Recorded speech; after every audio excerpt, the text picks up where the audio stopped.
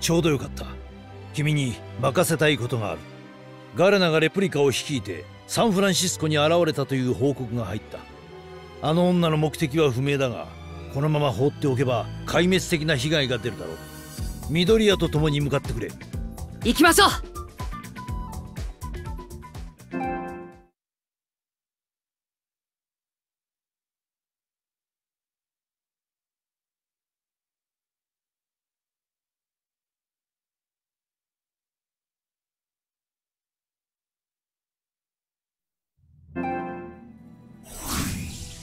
転送完了しました。あらまたあなた。随分と可愛いお友達を連れているわね。お前たちの目的は何なんだ？一体何のために世界中で暴れ回っている？それを知ってどうするの？まさか協力してくれるのかしら？するわけないだろ！可愛いわね。いいわ教えてあげる。私はねそうこの世界に飽きてしまったの。感情や欲望を押し殺し退屈な毎日を平和という言葉でごまかして生きている人間たちを見ているとつまらなすぎてもう耐えられない。それに力ある者が力なき者を守るなんて理解に苦しむわ。なぜ我慢するの？力ある者が自らの欲望に従順に思う存分力を振るう。それによって生まれる憎悪絶望の連鎖感情のぶつかり合い。それが最高にそそるでしょ？私はそんな世界を見ていたいのよ。だったら力のない人たちはどうするんだ？そんなの私の知ったことじゃないけど。そうね。強くなればいいんじゃない？彼のように。それができないならおとなしく死ぬしかないわね。違う！そんなの間違ってる！力は誰かを助けるために守るために使うものだ！だから人は強くなれるんだ！あら。何も守れなそうなあなたがヒーローみたいなことを言うのね。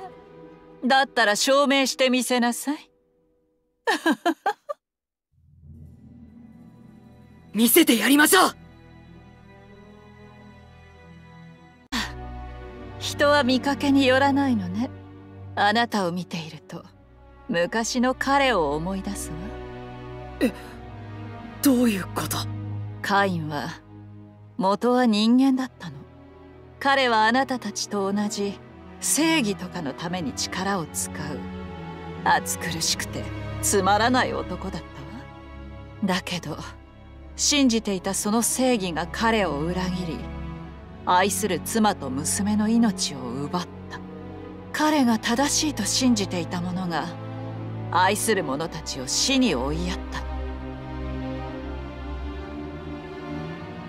た。あの時の絶望ったら最高だったわ。彼はその時気づいたみたいね。正しい力の使い方を。だからそれを自分のために使うことにした。新しい世界を作るため。今の世界を壊すことにね。これで満足かしら？そろそろこのレプリカも限界のようだからあなたは最後にどちらを選ぶのかしら？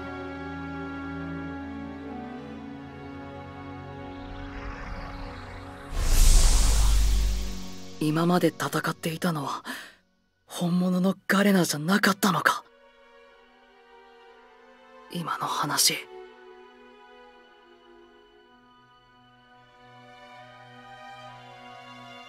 そうですね。帰りましょう。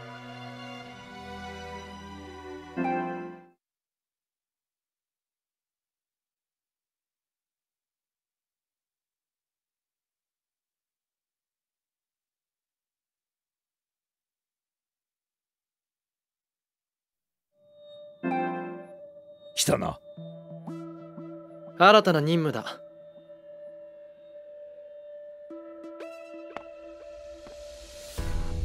久しぶりだね。ガレナの捜索からライトが戻った。申し訳ないことに収穫はゼロだった。君が戦ったガレナもレプリカだったと聞いたよ。それとカインが元は人間だったという話も。その件はガレナが私たちを惑わすためについた嘘かもしれない。確かに。人間があんな力を持つのは考え難い。私の方で調査を進めるので真偽がはっきりするまでは新たな任務に注力してほしそうですね。いでは任務についてだこれまでのベノムズの進行は現実世界を標的とすることが多かった。だがここに来てベノムズはジャンプ世界への進行を拡大進めようとしている。このままではジャンプ世界からさらなる敵が押し寄せてくる可能性が高い。それを阻止すべく悟空ルフィナルトたちがすでにジャンプ世界に向かった。君にも彼らの応援に向かってもらいたい。頼んだよ。